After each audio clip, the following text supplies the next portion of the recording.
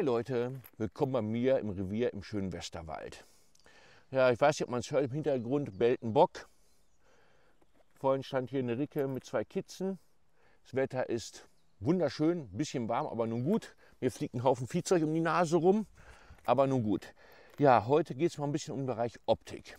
Ich habe mir ein neues Fernglas gegönnt und zwar das Gecko 10x50 mit Laserentfernungsmesser. Ich hatte schon mehrere Fälle, vor allem auf dem Feld, wo es unheimlich schwer war, wirklich die Entfernung abzuschätzen. Vor allem, wenn das Gras ein bisschen höher steht, ist es manchmal hakelig. Ich hatte bis jetzt immer den Hawk Laserentfernungsmesser, mit dem ich auch super zufrieden bin, den Engage 1500. Aber ich hatte einfach die Nase voll, immer zwei Geräte mit mir rumzuschleppen. So, ich habe mir diverse Ferngläser mit Laserentfernungsmesser angeguckt, in der Preisklasse zwischen 1000 bis 4000 Euro hoch und habe mich schlussendlich für das Gecko entschieden. Das Gecko liegt UVP 1499, aber wenn man ein bisschen guckt, bekommt man das auch schon um die 1000 Euro, vielleicht sogar ein bisschen günstiger. Das Gecko wird in so einem wunderschönen Hardcase geliefert, wobei ich da auch schon das, den eigentlich nicht hundertprozentig mit zufrieden bin, weil, hört mal, die Reißverschlüsse sind nicht gummiert, ist, der Reißverschluss ist super von der Verarbeitung her, er klappert aber extrem. Und wenn man aufbaumt und hat vielleicht schon Wild vor und dann das Teil ausbauen, hm, bei empfindlichen Rotwild etc. könnte es Probleme geben. Hier will ich werde die Reißverschlüsse wahrscheinlich irgendwie in irgendeiner Form abkleben, muss mir noch was einfallen lassen. Aber schauen wir mal. So. Dann haben wir das gute Stück. Mit schönem Neopren-Tragegurt, der auch äußerst bequem ist. Das hat sich hier ein bisschen vertüddelt jetzt alles.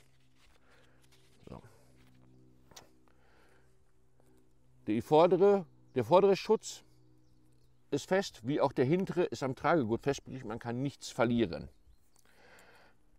Zehnfache Vergrößerung, 50 Objektivdurchmesser. Natürlich auch komplett für Leute ohne Brille geeignet, beziehungsweise für mich mit Brille eingefahren.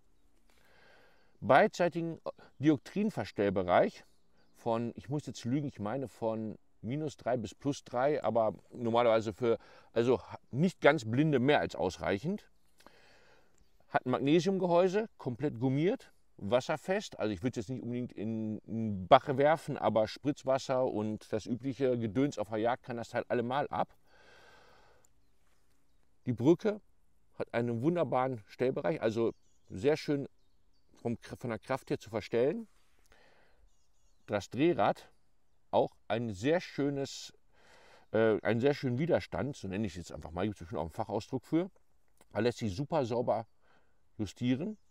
Und der Laserentfernungsmesser geht also ohne Probleme bis 1500 Meter. Ich habe gestern auch schon mal bis 1800 Meter gemessen, bei helllichtem Tageslicht, also überhaupt kein Problem.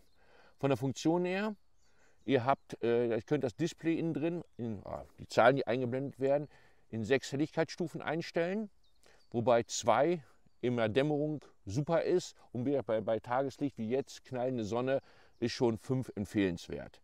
Dann haben, können wir uns noch ein paar Zusatzdaten einblenden lassen. Zum einen die Außentemperatur, alternativ der Winkel oder halt die Entfernung, die, die reelle Entfernung zum Ziel, wenn man den Winkel mit in Betracht zieht. Sprich, wenn man bergauf oder bergab schießt, haben wir eine etwas andere Entfernung. Auch diese Werte kann man sich anzeigen lassen.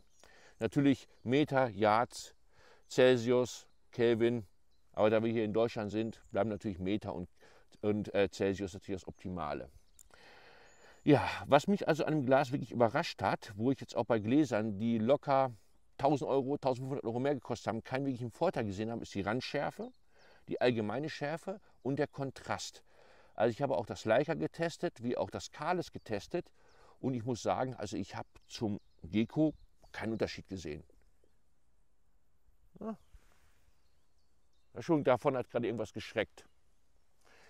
Ähm, da wir hier momentan führende Bachen haben, auch mit, Frischle mit Frischlingen, gucke ich mal, mal nicht, dass mir jetzt hier eine Bache durchs, mit Frischlingen durchs Bild läuft. Naja, auf jeden Fall habe ich keinen großen Unterschied, vor allem zum Kades gesehen, was nun locker 1000 Euro teurer ist. Und ich war wirklich von der optischen Leistung von diesem Glas überrascht. Selbst in schwierigsten Dämmerungssituationen konnte man ganz klar das Rehwild vom dunklen Wald im Hintergrund super ansprechen, super identifizieren. Der Laserentfernungsmesser, ich habe es auch mit meinem Engage getestet von Hawk, hat also auf 10 cm immer genau den gleichen Wert angezeigt wie auch der normale Laserentfernungsmesser von Hawk. Also gehe ich mal davon aus, dass beide Geräte absolut passen.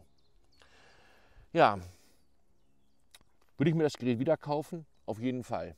Es ist jeden Cent wert und meiner Meinung nach gibt es momentan nichts Vergleichbares mit einem ähnlich guten Preis-Leistungs-Verhältnis wie das Gecko 10 bis 50, äh, 10 x 50 mit Rangefinder.